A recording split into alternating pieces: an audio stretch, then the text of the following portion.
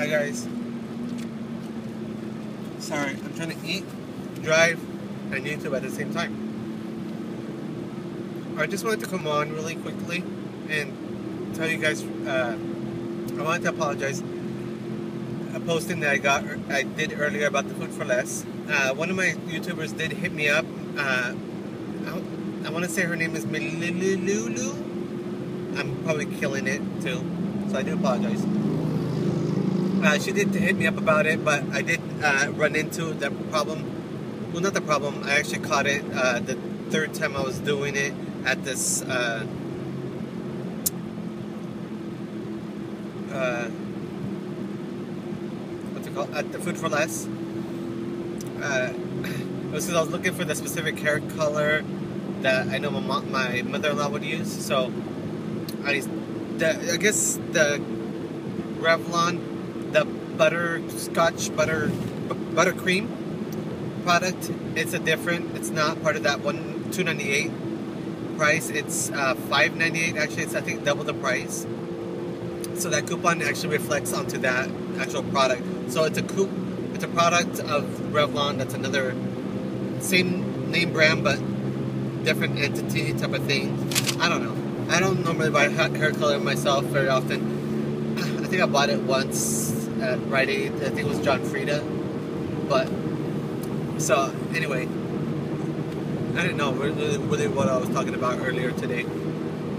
I did buy a couple of them before I, I figured out that it is a different product of the on the Revlon coupon that I mentioned.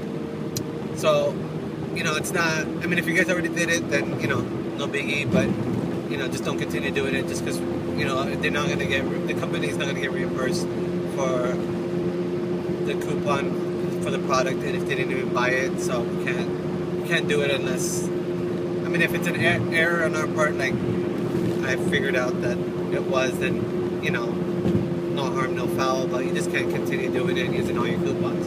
It just wouldn't be right. Uh, but with that said, that actual product at CVS, at, I'm sorry, Walgreens. I did mention in another video, at, I heard WAG on the WAG, uh, Walgreens. I don't know if I posted it up yet, but they do have that buttermilk, butter silk. I want to say buttermilk, uh, but the buttercream. I'm sorry. See, I don't, I don't know, but the buttercream Revlon. It's when you buy two, they're four forty nine each you get two dollars, two two thousand points. You use two of the three dollar coupons. You're pretty much paying ninety eight cents plus tax for two of them, which is the better deal to do. That way, people get reimbursed, and you know we're doing it, doing it the right way.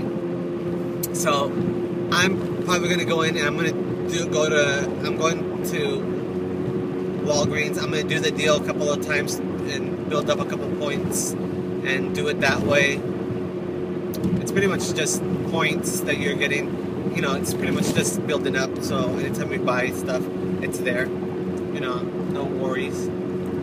It's not like uh, Rite Aid where they they drop off after a certain amount of time. I don't think points for Walgreens ever expire. At least it's like a year or something, maybe. Not quite sure on that. But I just wanted to come out really quickly, just talk to you guys about that really quickly. You could still food for this. You could still do the two dollars Clairol product for the Clairol balsam. I want to say, or balsami, something like that.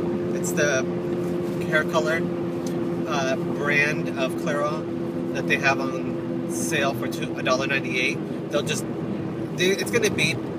They will just have to. You just have to tell them that you've done the deal before, and they just have to discount they just have to bring down the price of the coupon to the $1.98 and they should be able to push it through.